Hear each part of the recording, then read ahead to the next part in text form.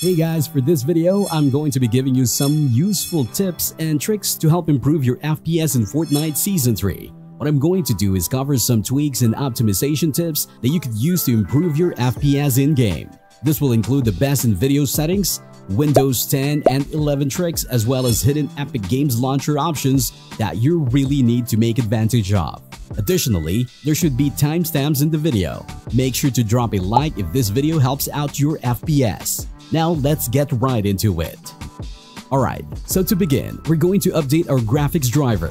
I have an NVIDIA graphics card, so I will be using the NVIDIA app to update my drivers. You can use GeForce Experience if you want to.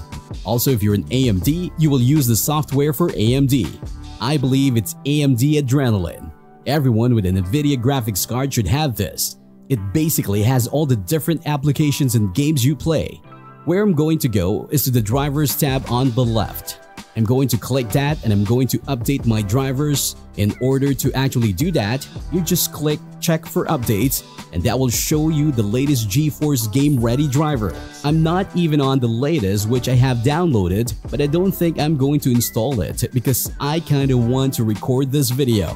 But for those of you who get hitches or maybe your game just does not feel good, try updating your drivers. Moving on, let's tweak our Windows settings. I'm currently on Windows 11, but you can still follow along on Windows 10. It's the same process pretty much. First, in the Windows search, you want to type graphics settings. You should get a system setting tab and that you're going to do is actually turn on hardware accelerated GPU scheduling. It will either give you a small performance boost or it will just do nothing. If you have a problem with it, turn off and see if it helps. On top of that, we have graphics performance preference. This is important because I have Fortnite on high performance. In order to actually do that, you're going to press browse. I don't think you're going to see this first, so you should probably go to your program files. That's where you're going to see all the different kinds of games you have, and you're going to go to Epic Games, Fortnite, Game Binaries, Win64, and then you get the four different applications. Make sure right here you do not click the easy anti-cheat or the BattlEye or the launcher. Click Fortnite client, Windows 64 shipping. You're going to add that right here. Even though it's already been added, and here's you have the different options where it says let Windows decide. Power saving, high performance, you want high performance. Save that bad boy and boom. Those are your Windows graphics settings. Going back to the actual settings of Windows, we're going to go to the gaming settings. The gaming section starting with the Xbox game bar. Make sure you have this off. A lot of people actually do not and they don't realize it uses a ton of your game's processing power. People like to use it for recording game clips, but just use NVIDIA.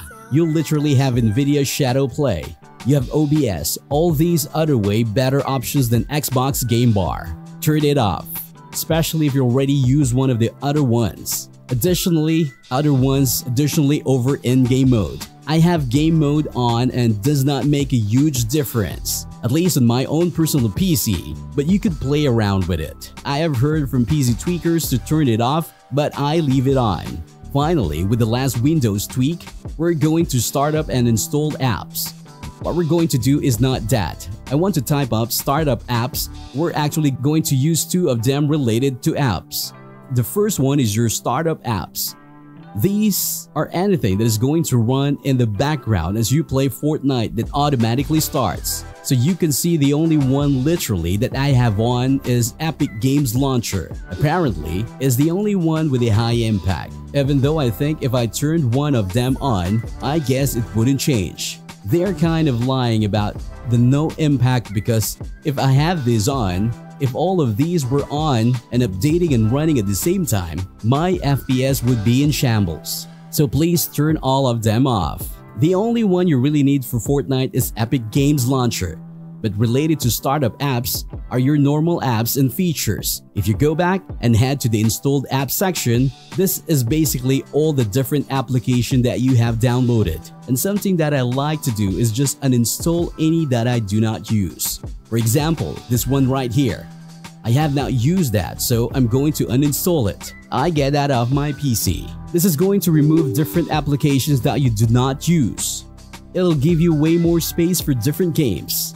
Now let's address the performance power plan in the search bar. Type power plan and select edit power plan. Click on change advanced power settings. By default, the balanced power plan is typically active. However, to optimize performance, switch to the high performance plan, which is specifically designed to boost system performance. Ensure to apply the settings and click OK to confirm. To end off the video, we have the kind of Fortnite settings that are not all Fortnite settings. I'm going to load up the Epic Games Launcher. I'm going to go to my library and this is where you can see Fortnite.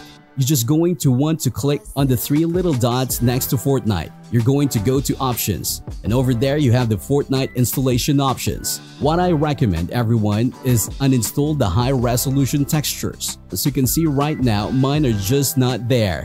It's not checked. It's huge. It's 19 gigabytes. We spend like a minute just removing different startup apps. So why the heck would we want high-resolution texture 20 gigabyte for no reason?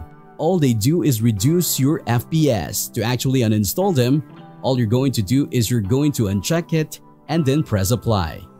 Well guys, that's the end of the video. All of those tips and tricks should help improve your FPS because I did it on my own PC. Let me know down below if it did. Also, if you enjoy the video or you learned something new, do be sure to drop a like, subscribe to the channel as I'm on my way to 2,000 subs. I'll see you guys in the next one.